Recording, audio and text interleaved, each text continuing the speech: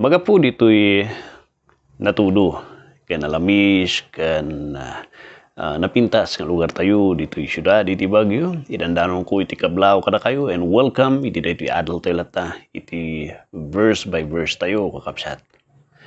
It has been a blessing and journey tayo iti libro iti Jude. Sin maruno iti Jude, napantayo iti adult tayo iti libro iti Roma. Now, we have started our journey iti libro iti Colossians and I hope it will be a blessing kan makatulong na ito eh, iti pamati tayo. Especially iti present time, noon niya ti connection na ito eh, iti panagbiag tayo ta. Some people would say iti Bible kat obsolete detan nga libro. Hanan nga makatulong detan. Old book lang detan. And I want ti connection na ito iti biag tayo panawan tayo ta. But I would like to say, the Bible is always updated. Whatever the teaching iti Bible iti, the same nga na data, it is still beneficial para titunggal maysa. For now, we are ti book ti Colossians chapter 1 and we have we are already ti verse 2. And uh, kunay to the saints and faithful brethren in Christ who are at Colossae. So dito di uh, kunak kayo, this is how they write a letter before iti kastada nga agsurat. Di verse 1 mo una di nagsurat. Ibaga na i-mention na siya ni Pablo. And di sumaruno nga i-address na kat ibaga na sino susuratan na? Uh, kada tayo nga panahon ti mo una nga ma-addressan dear sir ma'am. And so that is how we make a letter. Ada ti format na nga iso ti may sursuro ni eskwelahan then last sincerely yours. Nagmamahal ang inyo pong lingkod Mr. and Mr. and so on. So that is how we we write our letter for today. Nga isuti format tayo. But idi, mononaji writer, then dago sumarunon DJ people to be addressed. And kunana dito ay, dating a letter is addressed to the people nga daji Colossae. But not all, not just nga ordinary nga people. These people are, kunana iti sa uwiti Diyos, These people nga dati Colossae kat ada iti identification nga naibaga kanyada. A very important identification nga dati importansya na iti sangwana ni Pablo. Kunana to the saints. These people nga nakadresa na kat they are called saints. Saints. Yes. Hagios. The same word iti righteous the same word iti holy. Ngamkat na nga sawon na isina para iti Diyos. Magapu iti may nga banag nga naisina para iti Diyos. Iso tiket na nga sawon, panakaisina para iti Diyos. Nga dati nga banag, dati nga anak na ka iti Diablo, now gapus kini Kristo, naisina ka, inikat na ka ti pamilya ti Diablo, ingayon na ka by adoption, ingayon na ka ti pamilya ti Hapo. Ini kat nagbaling nga tagabo ka iti sipngat iti Diablo. Bat gapus kini Kristo. Inikat da ka iti panagbaling nga tagabo iti Diablo nga pinagbaling da ka nga sinubot da ka binayadan da ka uh, ginatang da ka iti dara ni Kristo that you are now called servant of Christ. Magapu kan madusa ko madaytay di tao iti impyerno. Ngam gapus kini Kristo na isina nga mapan iti panakaispal nga mapan iti presensya iti apo iti langit. Daytoy nga tao nga managbasol. Ti identification nati sangwanan iti Dios managbasol ti sangwanan ng gapus kini Kristo nga tinalak na. He is now called forgiven man. He is already called dati ko na tayo a forgiven people of God. Sinner from saint. So iti ko natayo nga saint.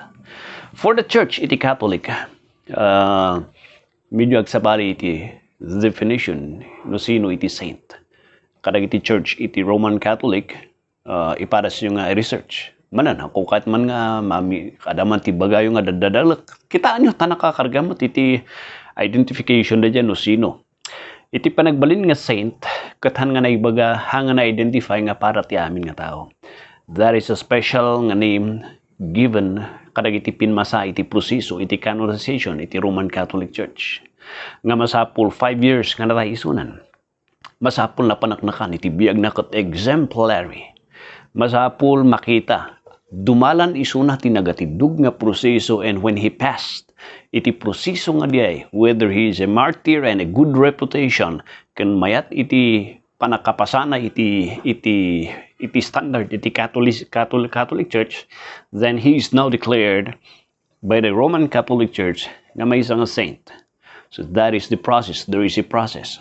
But to the biblical saint everybody amin nga tao di kolose nga in mawat kini Kristo Jesus are identified as saint separated para iti Dios from sin from hell from being a child of the devil, from being a servant of the devil, from being a sinner, na isina da nga, nga estado tibiyag nga mapanday ti apo, iti napintas nga estado. So that is being separated unto God.